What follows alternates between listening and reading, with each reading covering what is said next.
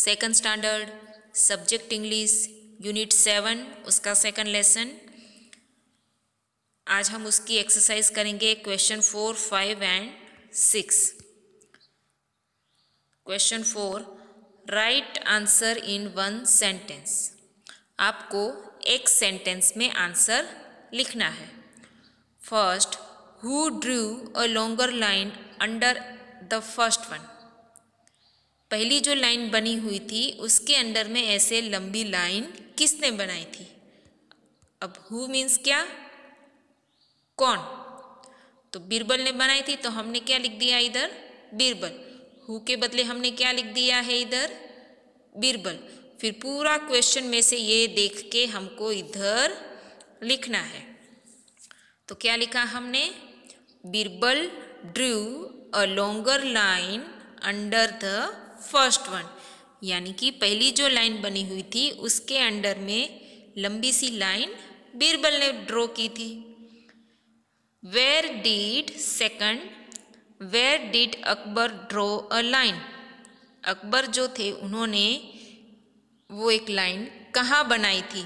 Where यानी कि कहाँ? कहाँ बनाई थी अकबर ने वो लाइन?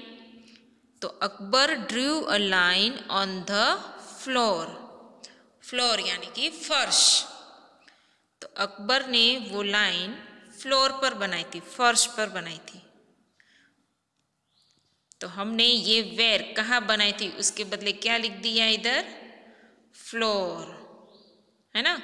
वेर यानी कि कहाँ पर? तो फ्लोर पर। हु मीन्स कौन? तो बिरबल, वेर मतलब कहाँ? तो फर्श पर। फिर उसके बाद है question five who said this उसमें फ़र्स्ट है मेक दिस लाइन शॉर्टर इस लाइन को छोटा बनाओ। किसने कहा था ऐसा? अकबर ने। तो हमने इधर क्या लिख दिया है? अकबर।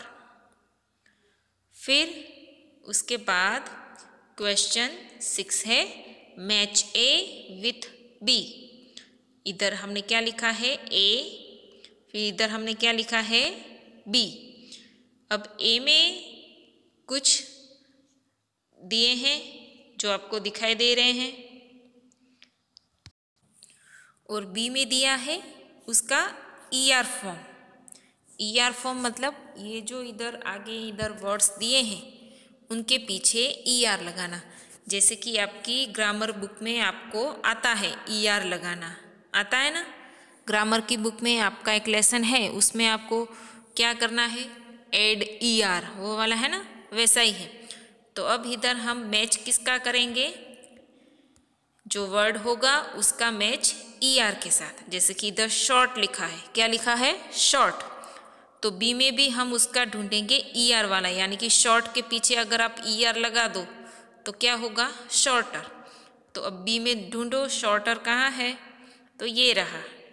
तो हम इसको, इसके साथ मैच करेंगे। तो शॉर्ट उसका क्या हुआ? किसके साथ मैच किया? शॉर्ट का हमने? शॉर्टर के साथ। वैसे ही ब्राइट है। तो ब्राइट को हम किसके साथ मैच करेंगे? ब्राइटर के साथ। वो कहाँ है? ये रहा लास्ट में है। ना? पीछे ई आर फिर उसके बाद है डार्क डार्क के पीछे ई आर लगाएँगे तो क्या बन जाएगा? डार्कर तो ये डार्कर के साथ मैच कर दिया हमने। अब शॉर्ट क्या होता है? छोटा सा। ब्राइट एकदम चमकने वाला। डार्क होता है अंधेरा। फिर है लाइट तो लाइट के पीछे हम ई आर लगाएँगे तो क्या बन जाएगा? लाइटर फिर है बिग है ना? तो बिग है, उसके पीछे अगर हम ई आर लगाएँगे तो क्या बन जाएगा? बिगर। फिर फास्ट। फास्ट के पीछे अगर हम ई आर लगाएँगे तो क्या बन गया? फास्टर। हो गया ना?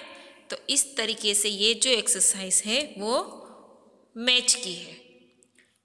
ई आर फॉर्म के साथ उसको हम मैच करना है। फिर से एक बार जब भी आप क्वेश्चन फोर करेंगे, तब क्वेश्चन में पहला लेटर कैपिटल करेंगे लास्ट में क्वेश्चन मार्क फिर आंसर जब लिखोगे, तब पहला लेटर कैपिटल लास्ट में फुल स्टॉप ओके फिर क्वेश्चन फाइव फिर क्वेश्चन सिक्स ये तीन एक्सरसाइज आप अपनी नोटबुक में अच्छी हैंड राइटिंग से कंप्लीट कीजिएगा. Okay thank you students